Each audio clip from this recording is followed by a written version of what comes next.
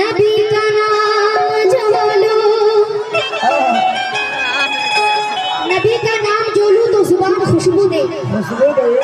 ज़ुबान ही नहीं सारा जहाँ खुशबू दे। अगर पसीना जबी पे लग जाए तो एक शख्स नहीं सारा खानदान खुशबू दे।